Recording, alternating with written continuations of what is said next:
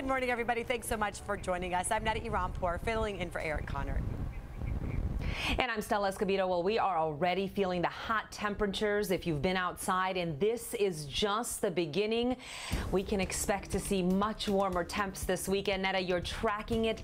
Uh, you're po tracking possibly record-breaking heat this weekend. Yes, we are looking at all-time hottest records possibly being broken this weekend. We'll show you that in a moment. But already, if you stepped outside, you are feeling those hot, hot temperatures. Look at all the sunshine around San Diego. This is the view from Black Mountain looking out towards the south. Looks like Rancho Penasquitos there. A little haze off in the distance. Temperature-wise, the temperatures are already moving on up. So yes, our warming has begun. The heat wave is officially here. It's going to last a while through Monday. We're talking about through the Labor Day weekend. Record-breaking hot temperatures expected for Saturday and for Sunday, we're also looking at an elevated fire risk because it's dry heat. We're getting an offshore wind, and that is not necessarily good news when it comes to our fire dangers. Temperature-wise right now, look at this. 95 in Julian, you're at 92 already in Ramona, 86 Poway along the coast, some mid-70s downtown San Diego, mid-70s, 82 in El Cajon.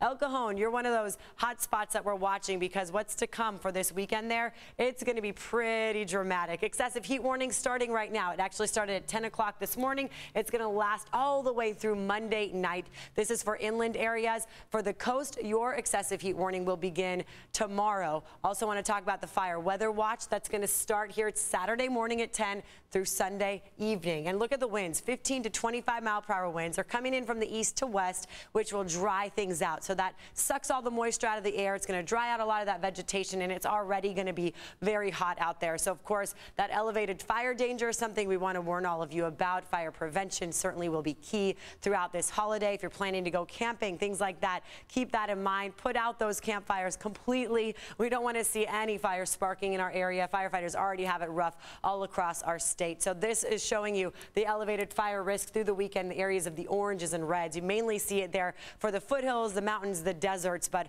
all throughout our region, you're going to feel that heat. You're going to feel the dry air. You're also going to feel those winds coming in down from the mountains and into the valleys and the coastline. Look at the inland numbers that we're seeing here. Look how high that gets on Saturday. So from now until tomorrow, we get ready for 107 for inland spots. Sunday also staying right there at 107. The overnight temperature is not even cooling off that much much. Here are the all-time records that we may see. These are the hottest temperatures we could see throughout San Diego ever on record. So Borrego could hit 121 on Monday. Ramona, you could reach 113 on Sunday. And then Escondido, you may shatter that record. Look, 114 expected for Saturday there. The record was 113 set way back in 1909. El Cajon, you could also hit 114 on Saturday. So, of course, with this hot, hot air that's out there, you're going to want to escape the heat, find a little bit of relief. And News 8's Chris Grow is joining us live in San Marcos. He has tips on how we can all stay cool. Certainly uh, desperate information that we're all desperate for, Chris. Important information, I should say. What's going on out there? Well, for starters, in order to stay cool, you're probably going to want to avoid wearing dark clothes like I made the mistake of wearing today. But we're also going to be able to let you know about some other ways to try to stay cool because this heat it's going to be hard to escape from it, especially if you're in some of these inland areas like San Marcos and even further east. So let's take a look at some of those tips that we have for you today. Uh, this is all helped out uh, by the county, especially they're warning residents to slow down. Don't go outside during the hottest parts of the day.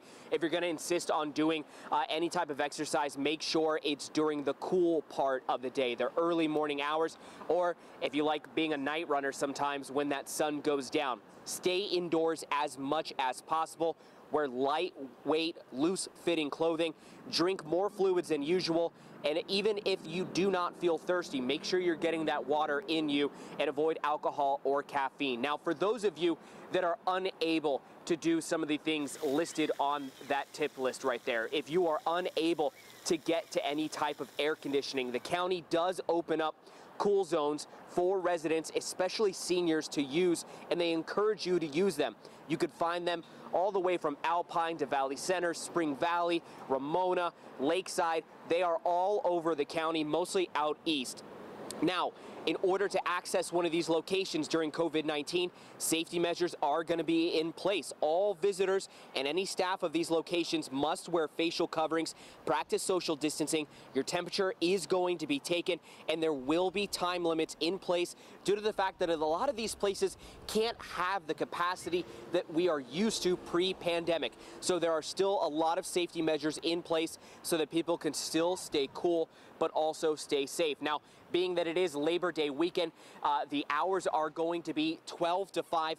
But for more info on how to stay cool, especially with these cool zones, go to our website, cbs8.com, and click on the help button. Neda Stella.